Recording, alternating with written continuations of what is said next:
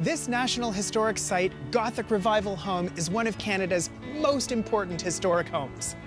It's called Earnscliffe Manor, and it was home to our first Prime Minister, Sir John A. Macdonald.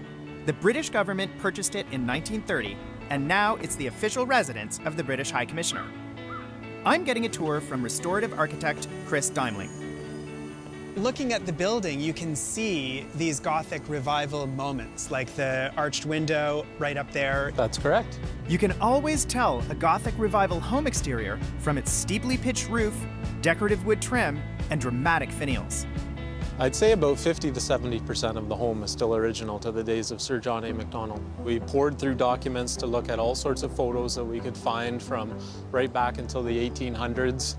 At the time Sir John A. purchased this home, it was listed for $10,000. Oh, ah, Chris, he's still here. That's right, Tommy. A bust of Sir John A. Macdonald. Well, there he is, with that prominent nose. Whoa!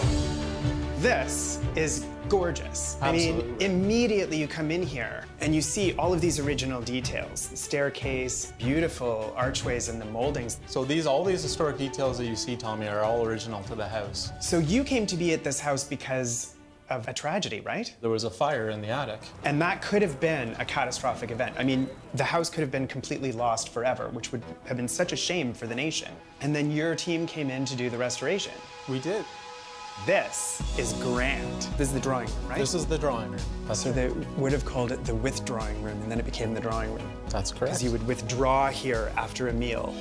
During Sir John A.'s time, this room was used to receive and entertain his many notable guests, including Queen Victoria. These are beautiful. A lot of layers of paint on there. So these are original to the house, obviously. Somewhat symbolic of Gothic revival style. And just down the hall is the most amazing dining room. This is fine dining. I love the way that the paneling is called out with the paint color. I love the ceiling heights and the volume in the space. The length of this table is incredible. This is really a dining table fit for a queen.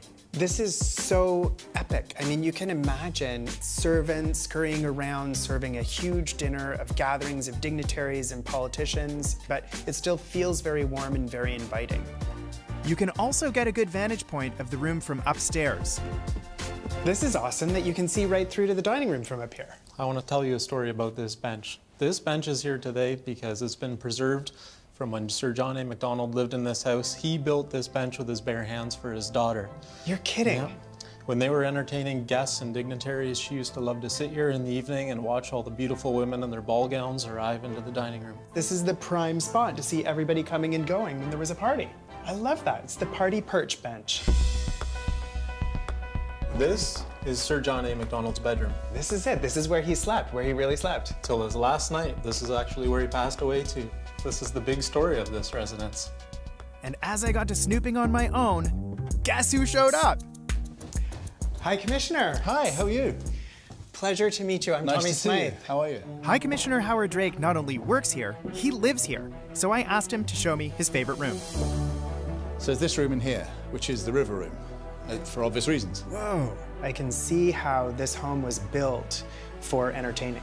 I mean, the flow that it has naturally, the grand spaces that are available to do that. But you and your wife have also done such a magnificent job at maintaining a, f- a feeling of coziness. Well, it's nice of you to say so. I mean, it's really important you know, because it is, as you say, this is where we spend most of our time. So I don't want it to be a sort of sterile location, but equally, not only is it a working property, but it's we're very aware, my wife and I, that we're living in a bit of Canadian history here. Well, it was time for High Commissioner Drake to get back to work. In what is the coolest office space ever, So this was Sir John A.'s library. amazing.